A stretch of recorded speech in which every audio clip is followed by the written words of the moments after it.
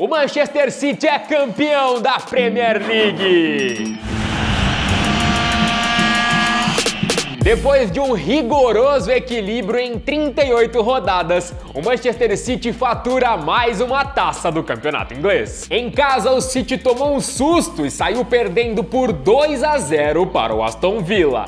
Mas em 5 minutos, o time de Pep Guardiola virou o jogo, com direito a dois gols de Gundogan, um de Rodri e faturou seu oitavo título da Premier League. O concorrente Liverpool venceu o Wolves também de virada, mas com a espetacular vitória do City, ficou mesmo com o segundo lugar. E tivemos mais decisões importantes nessa rodada final da Premier League. Se liga, o Tottenham só dependia de si para se garantir na próxima Liga dos Campeões e fora de casa, os Spurs atropelaram o Norwich por 5 a 0.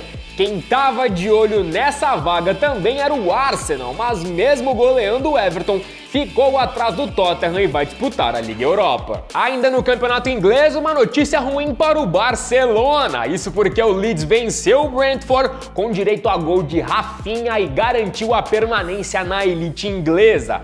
Com isso, a negociação pelo brasileiro Rafinha pode ser mais complicada para o Barça.